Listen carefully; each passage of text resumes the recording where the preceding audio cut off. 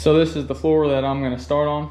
It's at the very top, not much traffic. That's why we are gonna go ahead and put this down versus the other floors that we don't wanna get tore up. So we're gonna hold off on them for a while, but typically whenever I'm laying a floor, it's just that LVP and I will run it up against a wall or use a wall as kind of like my starter to get a straight line. And I'll measure over, you know, just to make sure that it's not going to end up with a real small piece on the very end on the other room. But up here, you see, uh, there's all kinds of walls I can go off of. so what I think I'm going to do is I'll run the planks like this. So whenever you walk up, instead of like that, and I think it'll flow with the vertical cedar a lot better as well. But I'm going to act like this wall is straight. So I'm going to pull from that line over on both ends of it and I'll get me a chalk line right up here. So it should start up here. I'll have to cut out this first piece a little bit and then it'll run straight through over there then I will lay all the floor this way, but I will have to backlay this little area here, which won't be terrible. So that's kind of the rundown about what I've came up with on the best way to do this floor. So I'm gonna go get that line chalked and get the floor ready. So here's how I'm gonna get this line here. On this first piece, I don't want this edge right here to line up with this. I really need this to slide up all the way up here. So then I've got a cut edge here, a little bit of a cut edge here, and then I'll have an angled cut right here. So how I'm gonna do that is I've got this four foot level that's underneath this. I just pulled this out to get the width of it so I knew how close I had to be. I've got a little bit of wiggle room, but this is just to give me a general idea and get me out to this wall. So now I'm able to pull a measurement from there and get to where I about want the edge of my piece. So that's what I'm gonna do to get a point up here and then also a point down here. Then I'll go ahead and measure over, get me a line here that's even with this wall and then run it the rest of the way. Well guys, I got pulled off of doing this floor yesterday to go take care of some other business, but it is the next day, and we're back here at the castle. Don't know if I showed you guys in the last clip, but I got my line chalked here, and everything should work out good. I've got my cousin Easton. He's going to be helping us get this floor down today. So, that being said, um, we're going to go ahead and start this first row right here. And once I get it started and everything in place, I'll explain to you guys uh, exactly how I'm doing it and I'm going to show you guys. Alright, so I got this first piece cut and installed. Then I followed out my line, my chalk line. What I did was with the all fall of this piece, I went ahead and cut it. So now this is stable and it's not going to move. I screwed it down. That's obviously just temporary until we lay far enough out and probably go ahead and lay all the way out. Then we'll come back in here and we'll have to backlay this. So you gotta kind of get the process, I think. So I'm gonna put you guys on time lapse and me and Easton are gonna get this thing knocked out pretty quick. Just gonna give you guys a heads up here. This is gonna be a lot of time lapse. This stuff's pretty simple, so it's the same process over and over again maybe in my next video that I lay the floor, I'll uh, really sit there and show you guys the process of it. But for this video, just a lot of time lapse. And this was my cousin's first time laying this floor, so I was trying to teach and keep him going at the same time. So it took a little bit longer than what I expected, but it was a good learning process.